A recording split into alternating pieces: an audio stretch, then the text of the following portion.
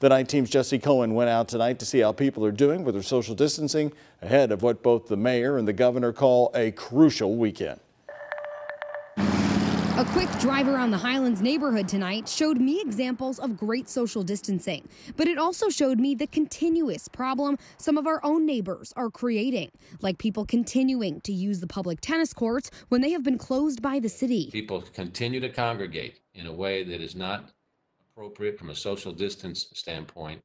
Unfortunately, I will have to close these public spaces to everyone, and this is our test uh, this weekend to see whether or not our enhanced communications have worked. After nearly three weeks of preaching the gravity of this pandemic, Mayor Greg Fischer says crowds of people in Louisville are still not listening. Still get reports of people from all parts of town and all demographics gathering in groups and acting like we are not in the middle of a global crisis. As a benefit to the people of this city, Fischer has left parks, golf courses, and other recreational spaces open so you can get outside and exercise. But today he's saying that won't be the case for the future unless people do their part to stop the spread. Will not hesitate to do that. My number one job is to protect the safety of everyone in our community. Pictures like this that show people not listening to the guidelines have been religiously sent to the mayor's office. So like the last picture you saw, this picture you saw, these folks might think they're social distancing. They're a little bit further apart than normally are.